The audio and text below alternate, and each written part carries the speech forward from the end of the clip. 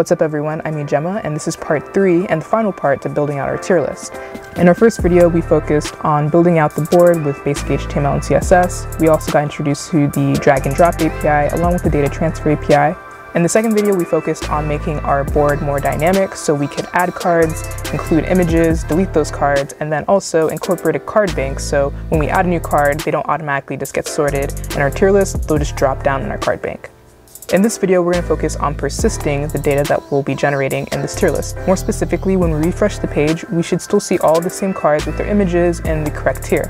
We're going to be looking at the local storage interface, which allows us to save data all inside the browser without having to interact with any backend database or server. If this sounds interesting, let's get started. Here I have my Chrome DevTools open. The web's local storage interface allows applications to save data specific to their page. So a site can save information that only relates to that site. You can't save local storage for any other site on the web or for any other project. So to get a better sense of what local storage looks like, I'm going to navigate over to the application tab and then under storage, click on the local storage tab. And then you should see your current site's URL underneath local storage. This is Chrome's way of showcasing what kind of data is currently being persisted for your current site. And you can see that there's a key and value tab. So by the end of the day, local storage is just a really big object with key value pairs that's associated with the site that you're currently working on. So inside our append image function, I'm going to be taking a closer look at the reader.onload callback function that we specified. So here we're setting the image's source to the event target result. This happens when we upload an image from our image upload dialog inside our application. So inside reader.onload, I actually want to save the data to local storage. So when we create a card in the first place, we want to automatically persist that card in local storage. So I'm going to get a hold of our application's local storage by calling window.localStorage. And I want to call the function setItem, which takes in a key and a value, which both have to be strings.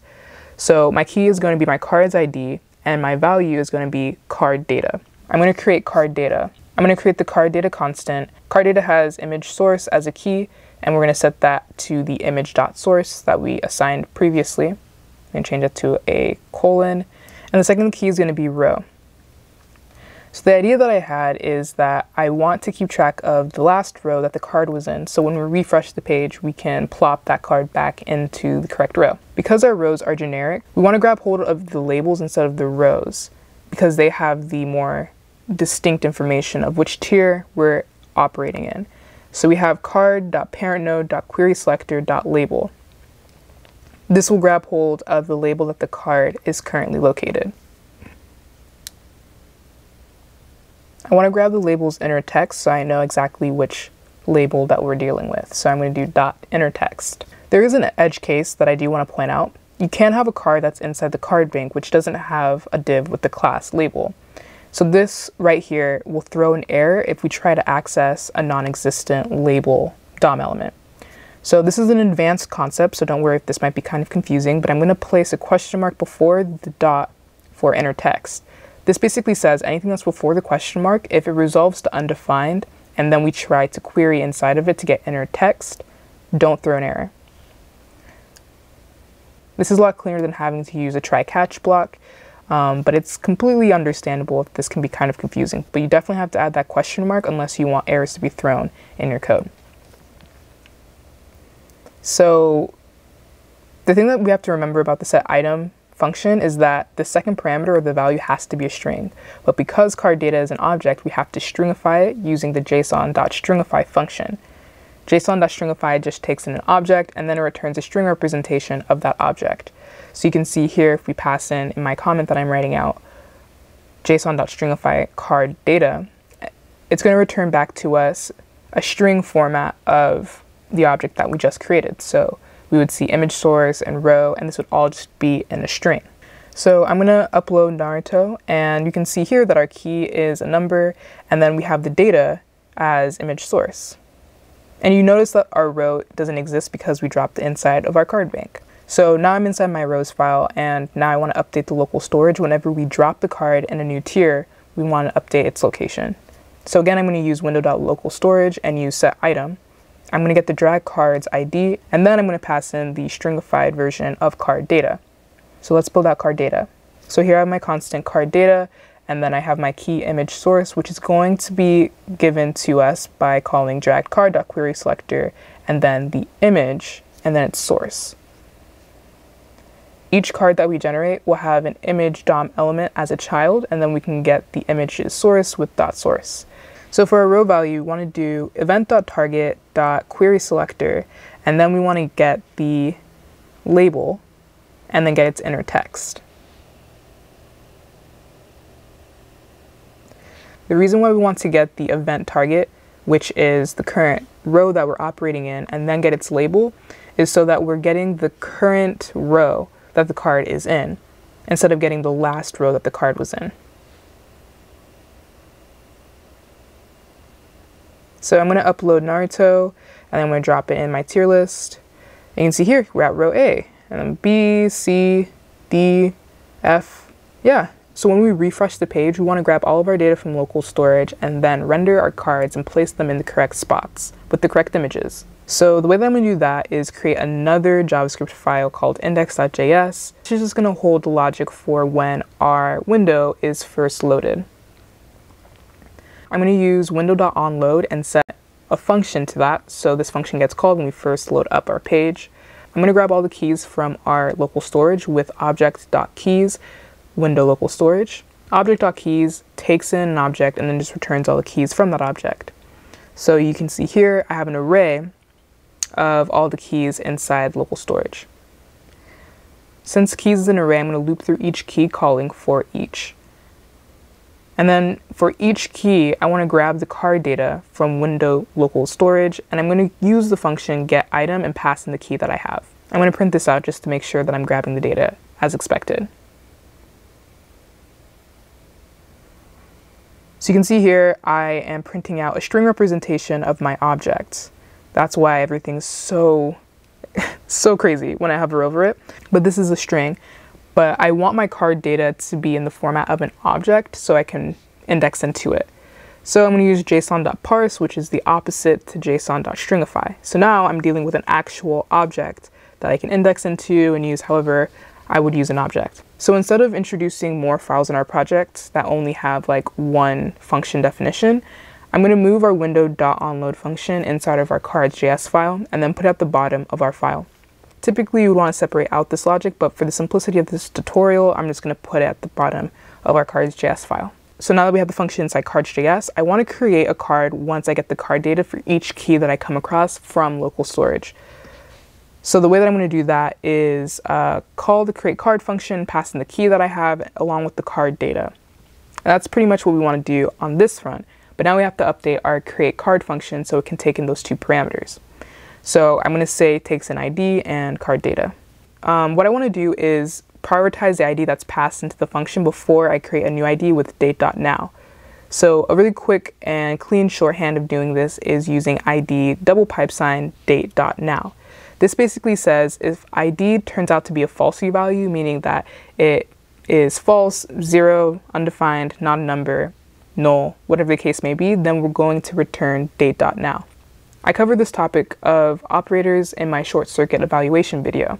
If you want a better and deeper understanding about short circuit evaluation and operators in JavaScript, I highly suggest you go watching that video. So now that we have that working in our favor, we have to handle card data. So card data has our image data along with the tier that our card is being rendered in.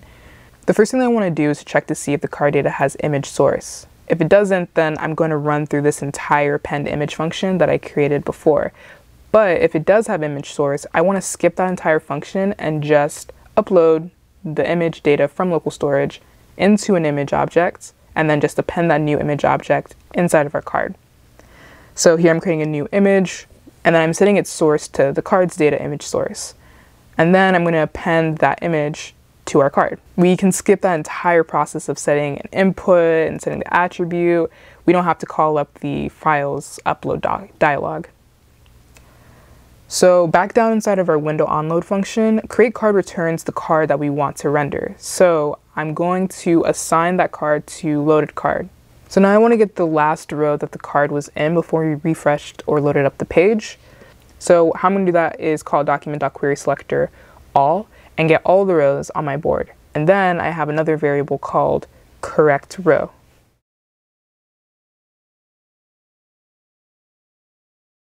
I'm going to update row to rows. And here what I want to do is convert our rows array into a proper array so we can call the find function on it. And then I want to find the row that has the label that's inside our card data. So I'm going to get the rows label and then I'm gonna grab a hold of its inner text and check to see if it's equal to our card data's row. And if it is, we're gonna return back that single row. And with that row, we can then append our loaded card on it. So here I'm just going to, so here I'm just printing out to make sure that I'm getting a row. So we can't forget to add the pointer events none styling so we can not drag the image. So here we can drag the card across our board. And when we refresh the page, it gets loaded up on the last tier that we're at. So it looks like we have an error. So in our if statement inside create card, we not only want to check to see if card data's image source exists, but if card data exists in the first place. So here I'm going to pull up Naruto again and drag and drop so we don't have any errors thrown. I want to be able to add a new card, Tokyo Ghoul. So we can see here when I refresh the page, we have two Naruto images. Inside our window on load function, we want to just wrap correct row.appendChild inside a check to see if the row exists in the first place. If the row doesn't exist, meaning that we couldn't find a row that the card was last seen in, then we're just going to append that new card that we loaded from our database into our card bank. So here I have card cardbank.append child, and then I'm going to append our loaded card. And then I'm just going to create card bank uh, using the document.query selector and then do hashtag bank. So now that we have the card bank, we reload the page and we can see that we have Tokyo Ghoul in our card bank without any errors being thrown. So we can throw it around our page. So we can see here that it's showing up in the last tiers that we're just at. So the last thing that we want to do is actually remove the card and when we refresh the page that information gets persisted.